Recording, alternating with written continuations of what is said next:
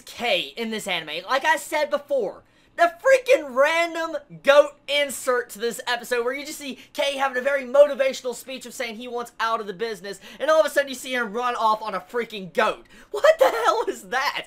That was just, that was so random. It even beats the gag comedy random of an anime, and I felt like that was one of the major highlights of this episode.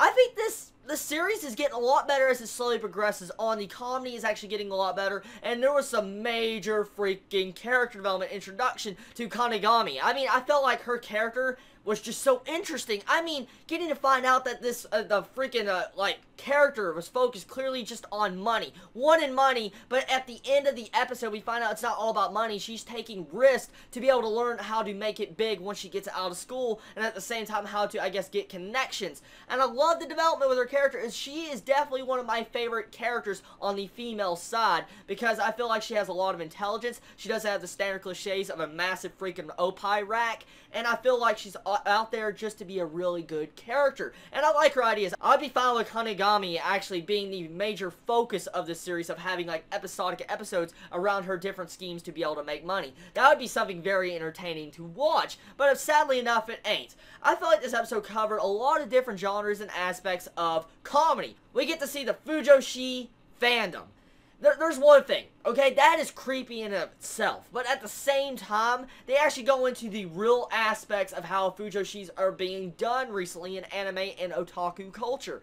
For one thing, we had an anime recently from KyoAni that actually, you know, aired recently called Free. And it pretty much focused at the female audience. And a lot of the actual otaku culture and uh, Japanese culture are trying to point anime towards the female audience. And I know a lot of you female audience out there right now who's probably watching this video probably can actually see that. They're trying to make anime more friendly for women, giving you fan service like Kill la Kill is doing. I mean, I know for a fact you all uh, think it's unfair to see always just we getting fan service as guys, but you want to see some man service. I mean, it's weird and creepy for a lot of actual old-time anime fans, especially for myself, but I think it's fair, and I actually agree with the change of the otaku culture, being able to mix it up for both sides and both freaking genders, and I feel like it's a lot better to, I guess, otaku culture. I seem to have went completely off track with this review. Let's get back on track.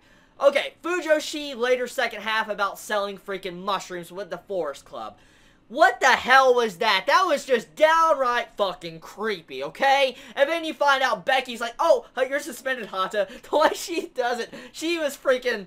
Oh, Becky is such an amazing teacher, especially that wish at the end, the wish. Uh, oh, man, Becky is one of my favorite teachers from this anime season because the way she acts. Now, really, I will say the first part of this episode about the Moe eggs. Wow. I have been enlightened to actually otaku culture once again. I knew about, you know, advertising, you know, goods, even food goods in Japan through actual anime characters. I've actually seen this done before, as I've seen it in news articles and stuff like that. Even they would do car companies with anime. But actually getting to see it in an anime and they're discussing actually advertising events that happen in Japan or otaku culture is something entertaining to watch because actually this episode really was not actually just random crap. I mean, even though it was random comedy gag episode, it actually focused on real world events, which was very entertaining to watch. And I felt like this episode had a lot of potential, and it was one of my favorite episodes of the series because of the character introductions like Kanegami. I felt like her character has so much more potential in this series that can spice up what the series already has.